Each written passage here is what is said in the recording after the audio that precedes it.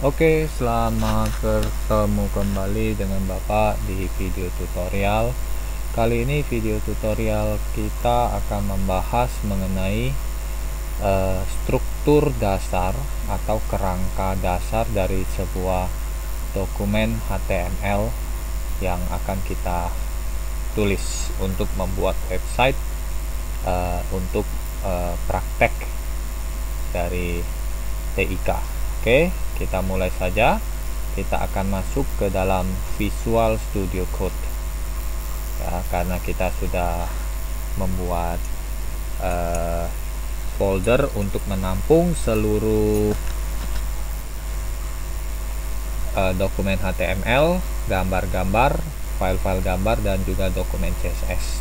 Ya, Bapak buat itu di dokumen dan namanya adalah HTML2 ya ini folder yang Bapak gunakan untuk menampung seluruh dokumen HTML, dokumen CSS dan file-file gambar untuk membuat video tutorial bagi kalian. Oke kita mulai saja. Bapak membuka Visual Studio Code. Ini halaman selamat datangnya. Lalu Bapak buat satu file uh, baru. Kalau Bapak klik file, new file. Lalu Bapak akan menggunakan fasilitas Visual Studio Code untuk membantu Bapak ketika menulis uh, script HTML. Nah, di video tutorial ini Bapak hanya akan memberikan gambaran mengenai uh, apa saja yang harus ada di dalam sebuah dokumen HTML. Yaitu yang pertama adalah doc type. Doc type itu adalah aturan ya aturan yang digunakan untuk supaya nanti web browser tahu kita menggunakan bahasa script HTML yang versi keberapa. Ya kita menggunakan eh, HTML versi 5 ya. Dan yang kedua ada beberapa tag yang harus ada yang wajib ada di dalam sebuah dokumen HTML jumlah tagnya ada empat. Nah itulah yang disebut struktur dasar atau kerangka dasar dari sebuah halaman uh, sebuah dokumen HTML ya ada doc type dan ada tag-tag HTML yang harus ada di dalam sebuah dokumen HTML oke sebelum Bapak menulis semuanya itu Bapak harus save dulu agar supaya nanti Bapak dibantu oleh fasilitas yang disediakan oleh aplikasi Visual Studio Code Bapak klik file, Bapak save atau save as tidak jadi masalah karena ini adalah Bapak pertama kali memberi nama kepada dokumen HTML Bapak yang bernama untitled strip 1 ya di video sebelumnya Bapak sudah menjelaskan uh, bahwa dokumen HTML yang diberikan nama oleh Visual Studio Code secara otomatis adalah untitled strip 1 Oke, Bapak klik save. Lalu Bapak mau simpan di tadi di dokumen di folder HTML2. Lalu Bapak beri nama file name-nya adalah index karena Bapak akan langsung saja nanti membuat websitenya. Namun Bapak di video ini sekali lagi hanya memperkenalkan struktur dasar dari sebuah dokumen HTML. Lalu save as type-nya, tipe filenya, jenis filenya adalah Bapak all files. Ya lalu Bapak save Oke kita lihat apakah index.html dokumen Bapak ini sudah ada di folder yang bernama HTML2 ya Bapak buka Windows Explorer atau File Explorer. Ya ternyata ada di dokumen lalu di folder HTML2 ya sudah ada ternyata. Oke kita kembali ke Visual Studio Code. Nah baris pertama dari sebuah dokumen HTML harus uh, kita memberitahu kepada web browser aturan versi HTML berapa yang akan kita ikuti. Nah kita akan menggunakan versi HTML yang paling akhir yaitu HTML versi 5 doc type nya aturan yang kita ikuti itu namanya doc type aturan yang kita pakai untuk memberitahu web browser versi HTML berapa yang kita ikuti itu namanya doc type D O C T Y P E ya. Dan untuk doctype versi HTML5 adalah demikian. Bapak tinggal ketik saja karena Bapak sudah save uh, dokumen HTML Bapak nanti Visual Studio Code akan membantu Bapak dengan fasilitas yang dia sediakan bagi Bapak. Ya Bapak tinggal ketik saja tanda kurang dari nanti muncul pilihan. Ya kecuali doctype Bapak ulangi sedikit kecuali doctype semua nama-nama yang di bawah doctype itu adalah nama-nama tag yang bisa kita pakai untuk membuat sebuah halaman web. Ya tag-tag yang biasanya dipakai di dalam sebuah dokumen HTML karena baris pertama karena doctype atau aturan harus ada di baris pertama. Ya maka Bapak klik doctype ya ingat doctype harus ada di baris pertama. Dia tidak boleh ada di baris yang uh, yang lain ya. Dia tidak mau. Lalu yang kedua kita masukkan sebuah halaman eh, sebuah tag atau tepatnya adalah empat tag yang wajib ada di dalam sebuah dokumen HTML yang pertama adalah tag HTML Bapak ketik saja namanya nama tagnya HTML lalu Bapak tekan tombol tab. Ya Bapak langsung dibuatkan opening tagnya yaitu tag pembuka HTML dan langsung dibuatkan tag penutup HTML Bapak klik di tengah-tengahnya di antara pem tag pembuka dan tag penutup HTML Bapak tekan tombol enter untuk memberi jarak. Lalu tag kedua yang harus ada adalah head. Oke Bapak tekan uh, tombol tab lalu Bapak tekan enter. Lalu tag yang ketiga yang harus ada adalah title. Lalu setelah Bapak ketik nama tagnya Bapak tekan tombol tab Bapak beri nama misalnya uh, HTML5 oke setelah itu Bapak akan buat tag yang terakhir ah, yaitu body. Oke lalu Bapak tekan tab. Lalu Bapak akan beri misalnya judul. A1 oke nah di sini Bapak akan memberikan misalnya uh, namanya HTML 5 ya ingat ya yang uh, yang wajib ada di dalam sebuah dokumen HTML adalah tag-tag seperti HTML, head, title, dan body. Ya, itu harus ada. Dan setiap tag-tag yang wajib ada ini ada tag uh, pasangannya artinya ada tag pembuka dan ada tag penutup ya ada tag pembuka HTML ada tag penutup HTML ada tag pembuka head ada tag penutup head ada tag pembuka title ada tag penutup title dan ada tag pembuka body dan ada tag penutup body nah sekarang kita mau lihat untuk tag title tag title ini adalah tag yang memberikan judul namun nanti judulnya bukan ditampilkan di halaman web browser tapi dia ditampilkan di eh, bagian title bar ya dari web browser nanti kita lihat hasilnya Sedangkan judul yang akan ditampilkan di halaman web browser adalah kita menggunakan tag H1. Ya, tag H1 singkatan dari heading level 1. Ya, heading level 1. H-nya itu heading, 1 itu level 1. Nah, di dalam bahasa script HTML eh, menyediakan 6 level dari heading ya jadi ada nanti heading level 1 heading level 2 sampai heading level 6 semakin besar angka setelah huruf H ya Bapak ulangi semakin besar angka setelah huruf A H maka nanti kat, e, kalimat atau kata-kata yang ada di antara e, tag heading itu akan semakin kecil ya semakin besar angkanya setelah huruf A kata-katanya yang ditampilkan di web browser akan semakin kecil.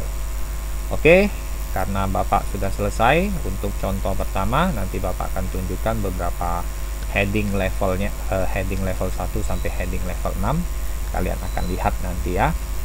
Oke Bapak file save kita lihat hasilnya. Di eh, Bapak coba buka langsung dari Windows Explorer saja.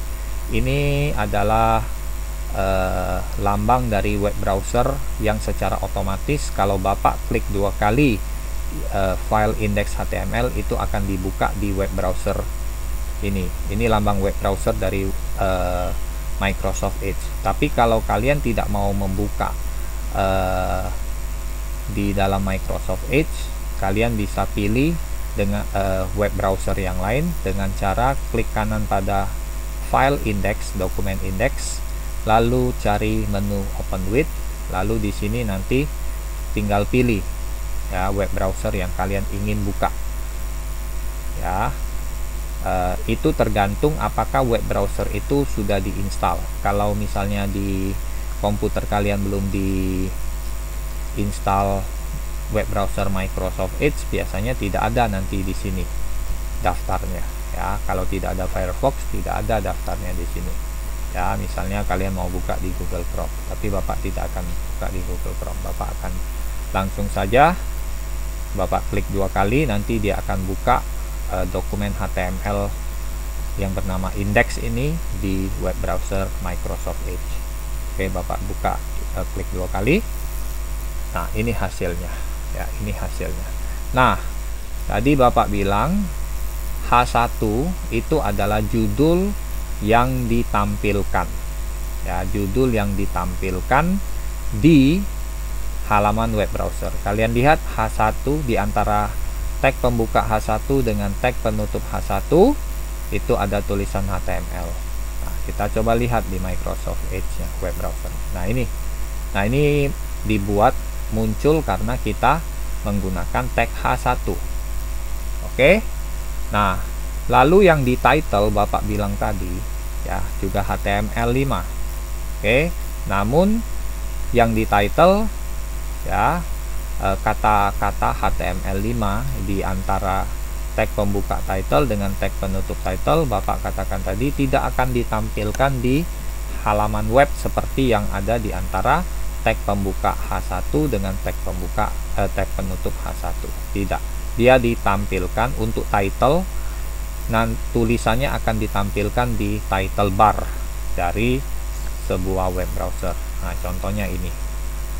Ya nah web browser zaman sekarang perlu diketahui dia bukan membukanya itu uh, satu web browser itu bisa dibuka banyak tab nah ini jenis-jenis tab nah ini jenis tab tab satu ini tab yang kedua Nah, lalu ini yang tab ketiga. Jadi banyak. Jadi untuk zaman sekarang ya, web browser zaman sekarang eh, kata-kata yang ada di antara tag pembuka title dengan tag penutup title itu diletakkan sebagai judul dari tab. Ya, judul dari tab untuk halaman Bapak yang bernama index HTML itu adalah HTML5 ya. Nah, ini ini title ya jadi ini dibuat dengan uh, tag H1 karena dia ditampilkan di halaman web browser dan ini yang di atas ini ini dibuat dengan tag title karena dia menjadi judul dari uh, atau nama dari tab yang dibuka ya men, nama dari salah satu tab yang dibuka di web browser Bapak dalam hal ini contohnya adalah web browser yang bernama Microsoft Edge. Oke, nah yang selanjutnya Bapak akan masukkan jenis tag ya, jenis tag heading. Ada 6 tag, ada 6 level ya dari tag heading seperti yang Bapak bilang tadi. Ya, Bapak misalnya masukkan H2. Ya.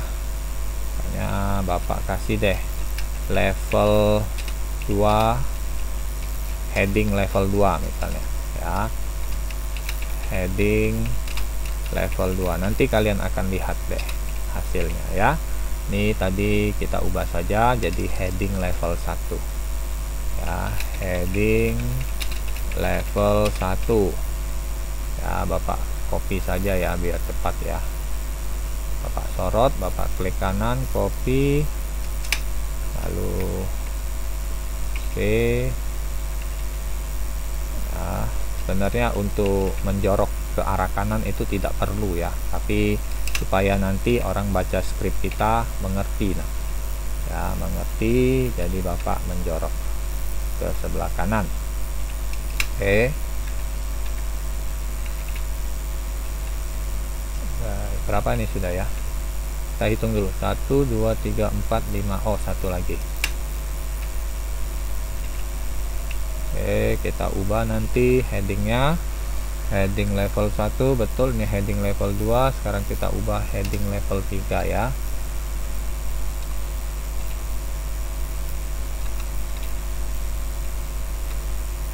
Betul heading level 4 oke 4 dan ini heading level 5 nanti kalian akan lihat semakin besar angka setelah huruf H maka tulisan yang ditampilkan akan semakin kecil. Ya heading level 6 adalah yang paling kecil tulisannya. Oke. Oke. Oke selesai. Bapak file lalu save. Eh, save bukan save as. Oke. Lalu Bapak kembali ke web browser Bapak, Bapak refresh. Ingat ya, setiap kita mengubah atau mengedit uh, script HTML kita di Visual Studio Code atau di a code ya, kita harus save lalu ketika kita mau lihat hasil tampilannya yang terakhir dari pekerjaan kita, kita kembali ke web browser, kita harus klik tanda panah yang melingkar atau refresh ya. Kalau di Google Chrome untuk refresh halaman web itu kalian bisa tekan tombol F5 juga. Kalau di Microsoft Edge itu tekan tombol CTRL tahan lalu tekan tombol R nah kalian lihat ini have heading level 1 tulisannya paling besar heading level 2 makin kecil makin kecil makin kecil. Ya makin besar angka setelah huruf H ya setelah huruf H maka eh, angkanya kan makin besar. Namun tampilannya tulisannya makin kecil sampai heading level 6 oke nah biasanya kalau tag heading ini digunakan untuk membuat judul ya heading level 1 biasanya untuk membuat judul besar ya kalau di dalam sebuah karangan itu ada yang namanya judul utamanya judul besar Lalu biasanya kalau heading level 2, heading level 3 itu untuk subjudul. Ya, subjudul. Jadi judul yang lebih kecil, judul perbagian. Ya, subjudul namanya. Oke, biasanya kita tidak sampai level heading level 6. Biasanya kalau paling uh, untuk heading kita berhubungan sampai heading level 4 ya. Paling paling paling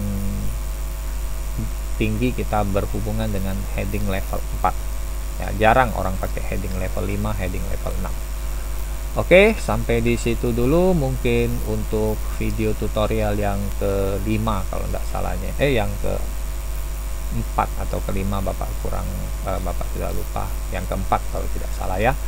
Uh, mengenai struktur dasar dari sebuah dokumen HTML yaitu harus ada doc type. Doc type ini adalah aturan yang, menen yang menentukan dan yang memberitahu kepada web browser aturan apa yang akan kita ikuti yaitu aturan versi HTML berapa yang akan kita gunakan di dalam uh, web browser uh, di dalam halaman web kita di dalam kita menulis dokumen HTML nah ini doc type yang seperti ini adalah versi HTML 5 ya.